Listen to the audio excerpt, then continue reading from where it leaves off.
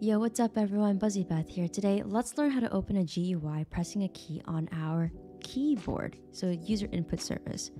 So inside of Starter GUI, in any screen GUI that you have, I'm just making one very quickly right now, but this will work for any screen GUI that you have. So once you have a, a GUI that you have and want to use, inside of it, let's go ahead and add a local script inside of that UI. We're gonna go ahead and create two variables, one for our user input service and a debounce. We have it so that if a player is pressing T and open is equal to false, then open will be equal to true and the frame will be visible. Else, um, if the frame is already visible and we press the key code again T, then the frame will be invisible, will be equal to false.